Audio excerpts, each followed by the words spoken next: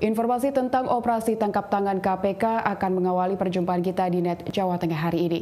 Pasca diringkus dalam operasi tangkap tangan KPK, dua orang ditetapkan sebagai tersangka. Dari tangan tersangka, petugas KPK mengamankan barang bukti uang sebesar 70 juta rupiah. Minggu siang, mobil milik tersangka dugaan kasus suap Kepala Bidang Pemasaran Sigit Widodo masih terparkir di halaman kantor Dinas Pariwisata Kebumen, Jawa Tengah. Sigit diamankan petugas KPK bersama salah satu anggota DPRD Kabupaten Kebumen dalam operasi tangkap tangan. KPK pun menyegel ruangan Sigit sejak Sabtu siang.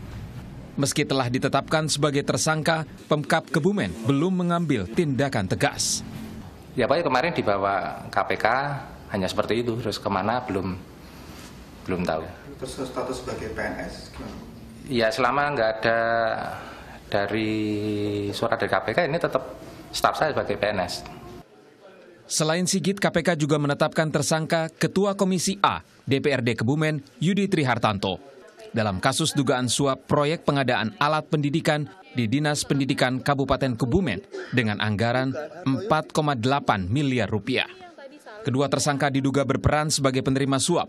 Dari tangan tersangka Yudi, petugas mengamankan uang 70 juta rupiah Uang diduga diberikan oleh Direktur Osama Group Hartoyo yang berlokasi di Jakarta melalui perantara pengusaha di Kebumen. Suap tersebut diduga sebagai fee awal dari komitmen fee sebesar 750 juta rupiah. Agar yang bersangkutan mendapatkan proyek ini, ada kesepakatan diberikan sekitar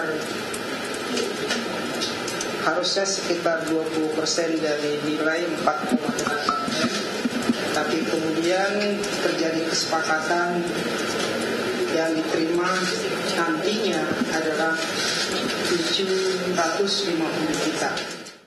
Sabtu siang KPK mengamankan enam orang di lokasi berbeda dalam operasi tangkap tangan di Kebumen, Jawa Tengah. Dua di antaranya ditetapkan sebagai tersangka, sementara empat lainnya masih berstatus saksi. Tim Liputan melaporkan untuk NET.